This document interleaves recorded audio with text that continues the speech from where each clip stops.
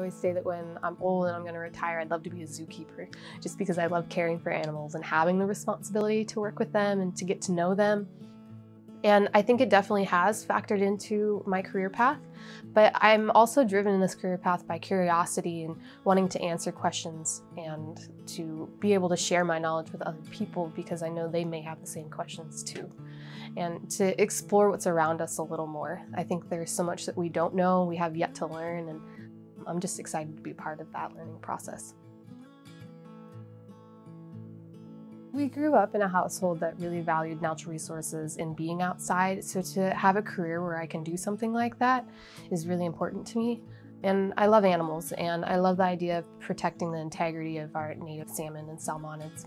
And so working a, in a career path that's very hands-on and very direct in restoring those populations and restoring their habitat, it means a lot to me being out in the field almost every day means a lot to me, and being able to see a project through completion means a lot.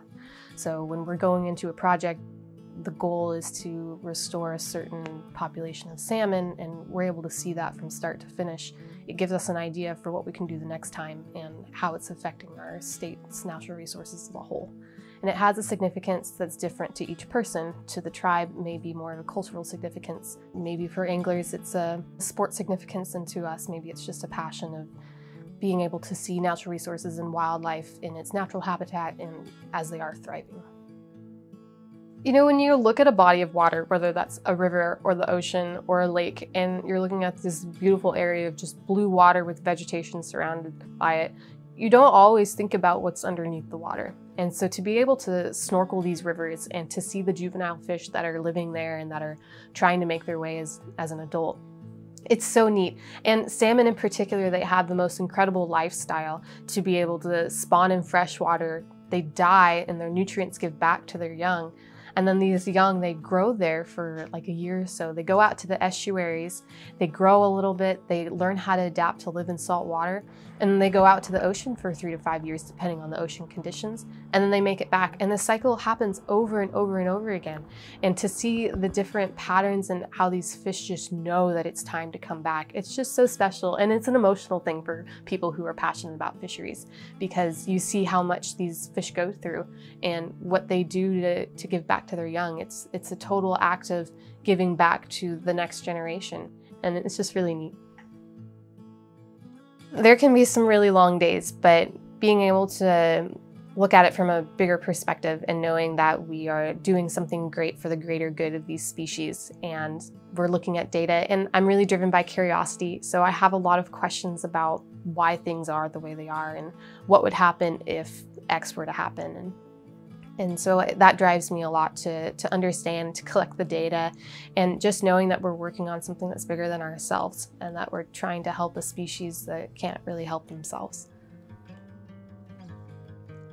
Being a woman and a woman of color in natural resource management has its challenges, but it really depends on the people that you're with. But working in a male dominated field, sometimes the opportunities are less for women, especially young women. So I really found a way to connect with men who were in this field that were my supervisors or who were my coworkers in a way that made them very supportive of me. And I asked really good questions and I offered help and proved to them that I could do the same things that the other younger men and that were my coworkers could do too. You know, it, sometimes it takes a lot of confidence to be able to step up and raise your hand first, but over time it, it builds repertoire and it builds an idea in their head that you're you're an equal and that you can do as much as they can and it's really helped me along the way to just remember that these are all people and you just have to step up and do your part and be brave. I know it might sound cheesy, but I mean, you can dream as big as you want, and we only have one life to make these things happen.